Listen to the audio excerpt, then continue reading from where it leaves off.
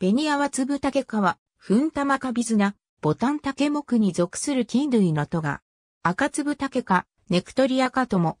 多くのものは、有性世代で生じる死脳核が赤ないし、紫の色調で、水酸化カリウムに浸すと活変し乳酸に浸すと、応変する。ベニアワツブタケ科はもともと有性世代に対して命名されたものである。タイプ属はネクトリア FR であるが、対応する無性世代として Tubercularia Tode がある。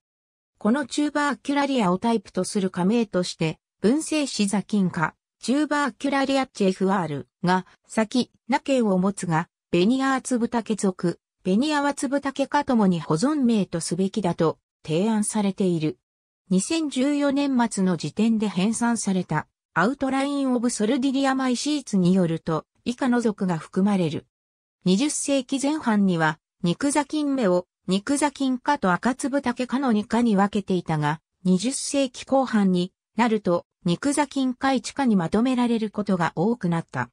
1999年に改めて肉座菌科を分子系統解析に基づいて3科に分割したうちの一つである。ありがとうございます。